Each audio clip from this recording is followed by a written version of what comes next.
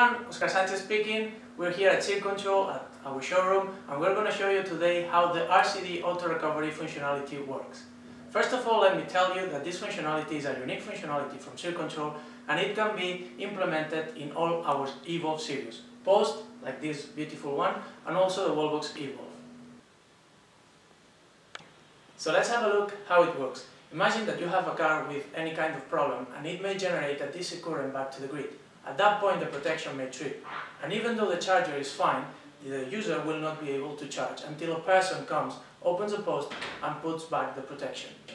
At that point, an auto-reclosing RCD is very beneficial for the, for the customer, for the point of view of the operator, because it will have a higher up and run time for the chargers. So it will be in green and operative most of the time.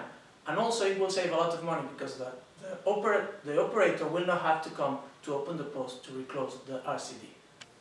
We'll make a trial now to show you how it works. So we plug our card into the charger. With our, with our RFID card we start the transaction as usual. So the LED will turn to blue. Now the car and the charger are communicating. And we're going to force an error and DC current leakage. At this point the LED turns to red. That means there is a problem.